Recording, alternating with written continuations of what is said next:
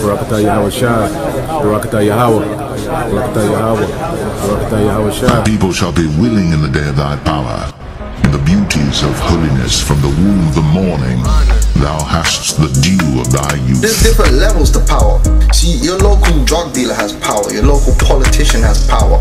Power is a force being able to move people around, to control things. But there's a level of power out there that you can feel, that's undeniable, that can't be stopped. Thou Israel art my servant, Jacob whom I have chosen, the seed of Abraham my friend. Thou whom I have taken from the ends of the earth and called thee from the chief men thereof, and said unto thee, Thou art my servant, I have chosen thee, and not cast thee away.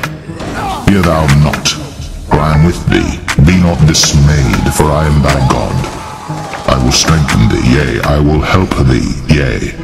I will uphold thee with the right hand of my righteousness.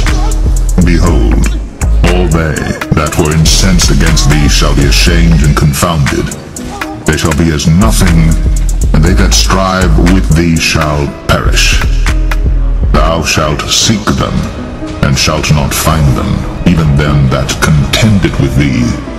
They that war against thee shall be as nothing, and as a thing of naught. For I, the Lord thy God, will hold thy right hand, saying unto thee, Fear not, I will help thee. Fear not, thou worm Jacob, and ye men of Israel. I will help thee, saith the Lord. And thy Redeemer, the Holy One of Israel. Behold, I will make thee a new sharp threshing instrument having teeth. Thou shalt thresh the mountains, and beat shalt make the hills as chaff. Thou shalt fan them, and the wind shall carry them away, and the whirlwind shall scatter them. And thou shalt rejoice in the Lord, and shalt glory in the Holy One of Israel.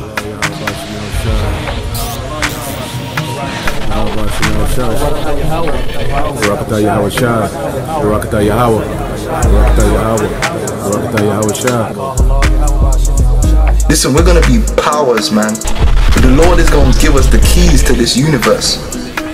We're gonna unlock a level in this universe, a code in this universe, a vibration in this universe that these devils dream of unlocking. They dream about being a god.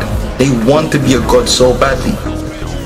And they believe that if time was to go on for long enough, they would be able to research and make themselves into God. But only Yahweh Yahushai can make you into a true God. And that gift is reserved for the children of Israel, beginning with the elect.